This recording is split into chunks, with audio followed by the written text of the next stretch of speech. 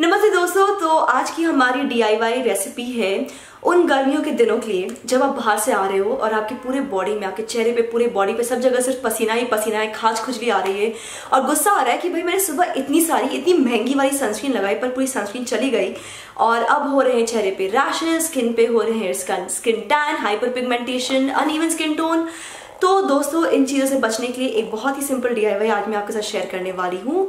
और शेयर करते हुए मैं एक और चीज़ कहती हूँ दोस्तों कि प्लीज़ अपने कमेंट्स कमेंट सेक्शन में लिख दीजिएगा इस डी को स्टार्ट आई मीन यूज़ करने के बाद कि आपको इसे कितना फ़ायदा हुआ है। सो दैट मेरा भी थोड़ा फ़ायदा हो जाए, मेरे व्यूअर्स का भी फ़ायदा हो जाए, सबका फ़ायदा हो जाए तो प्लीज़ एक कमेंट ज़रूर लिख दीजिएगा कि आपको कितना अच्छा लगा इसे ट्राई करने के बाद। ऑनेस्ट फीडबैक चाहिए, और मैं बोल रही हूँ ऑनेस्ट फीडबैक बहुत अच्छी होगी क्योंकि मैं खुद ही रेसिपी को बहुत यूज़ करती हूँ, बहुत ही अच्छी रेसिपी है। तो चलिए देखते हैं क्या है ये हमारी बहुत ही सिंपल पाँच मिनट वाली मतलब पाँच मिनट वाली रेसिपी इन द सेंस कि आपको सिर्फ़ पाँच मिनट लगेगा, बाकी काम आपके फ्रिज को करना है। और इसे आप लगा सकते हैं अपने फेस अपने फुल बॉडी पे, ठीक है? तो चलिए देखते हैं क्या ये हमारी पाँच मिनट प्लस फ्रिज के टाइम वाली रेसिपी और कैसे बना सकते हैं हम ये एलोवेरा आइस क्यूब्स तो दोस्तों, सबसे पहले तो आप ले लीजिए एक आइस ट्रे फिर आपको चाहिए एलोवेरा जेल तो आप चाहे तो वो नेचुरल एलोवेरा जेल भी यूज़ कर सकते हैं। और एक खीरा, एक ग्रेटर और एक छोटी सी बोल क्योंकि अभी हम बनाने वाले हैं खीरे का जूस और अगर आपको क्यूकम्बर जूस बनाने की मेहनत नहीं करनी है दोस्तों तो आप ये बायो क्यूकम्बर टोनर ला सकते हैं जो बायोटिक की है। ये बहुत ही अच्छी टोनर है और हमारे इस डी आई रेसिपी में भी ये बहुत आराम से आप काम में ले सकते हैं। और अगर आप कम से कम मेहनत करना चाहते हैं दोस्तों तो शायद आपके घर में ऑलरेडी रोज वाटर होगी। आप रोज वाटर चाहे तो वो भी यूज़ कर सकते हैं। वो भी इस डीआईवाई के लिए काफ़ी यूजफुल है। तो खीरे का जूस बनाने के लिए पहले हम इस खीरे को ग्रेट कर लेते हैं बहुत ही अच्छे से। और बस फिर हम इसे छान लेते हैं अपनी जूस निकालने के लिए।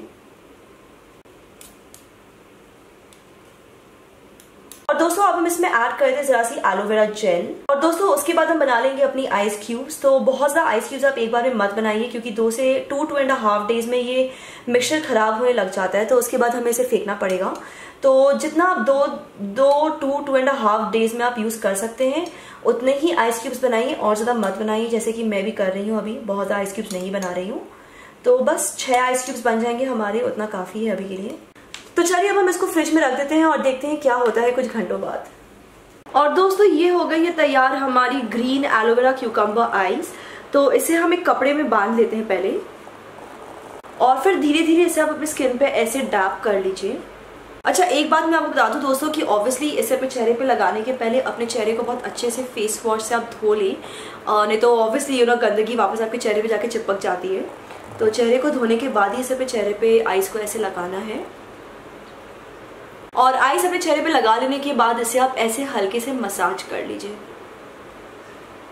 और बस दोस्तों, चेहरा मसाज कर लेने के बाद 10 से 15 मिनट रुक जाइए और उसके बाद अपने चेहरे को नॉर्मल पानी से धो लीजिए। तो दोस्तों, ये थी हमारी आज की रेसिपी ये थी हमारी आज की डी अगर आपको ये पसंद आई हो तो वीडियो को लाइक करना भूले चैनल को सब्सक्राइब करना भूले और जैसे कि मैंने कहा प्लीज़ अपने फीडबैक शेयर करना ना भूले।